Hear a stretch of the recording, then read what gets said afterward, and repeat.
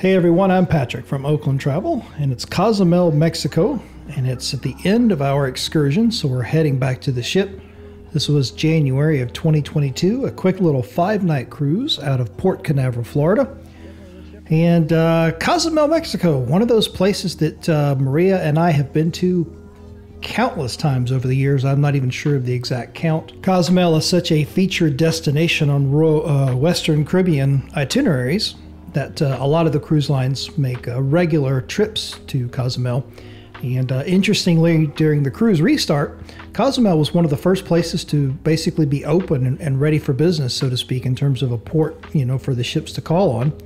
So um, we've been here so many times over the years, done all sorts of different types of excursions, and you know, it's uh, it's one of those things. If you look at the Western Caribbean layout, there's just so few places to go. You got Cozumel, you got Costa Maya, you got Honduras uh, on that western side of the Caribbean Sea, and that's about it.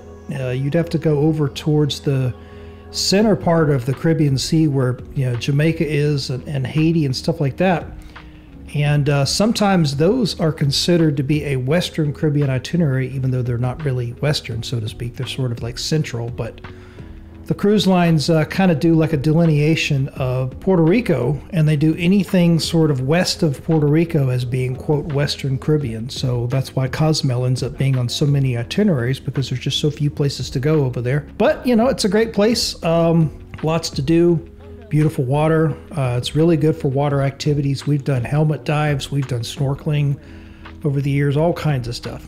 After this, we have a day at sea, and then we're back into Port Canaveral at the end of the cruise. If you like that cruising and travel lifestyle, consider subscribing to our channel with the notification bell on so you don't miss any of the vlog episodes that we put up on the channel similar to this one. We also put up shorts on a daily basis, plus we go live every Wednesday night for the cruise and travel discussion. If you want to show your support for the channel, hit the like button on this video.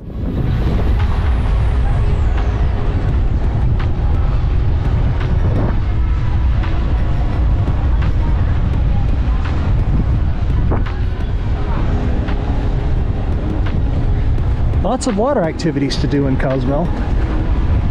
We've done uh, the helmet dive.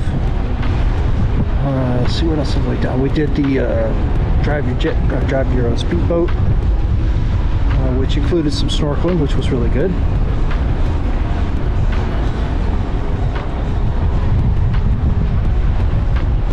We're gonna do uh, Tulum Ruins with the cenote, cenote, excuse me. But it's canceled because of the tour operator didn't want to run the tour, weather and stuff. Even though the weather today is not bad. It seemed to clear up pretty quickly.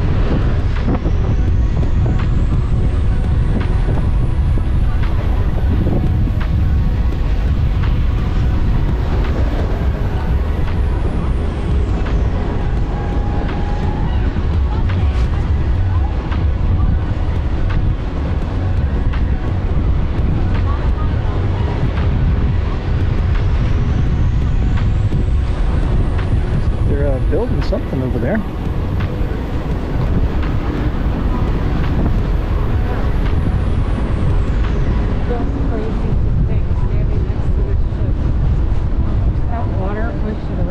Oh yeah, big time.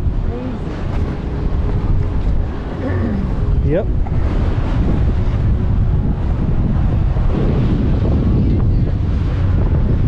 And that water was definitely pushing it around when we say, oh, it's a smaller ship than Oasis. yeah, but it's freaking huge. Still was pushed around so much. Yep. Oasis of the Seas is a good, uh, this is saying probably 140,000 tons, so 225,000 tons on the Oasis class It's quite a bit uh, heavier and quite a bit bigger. All right, I gotta stop.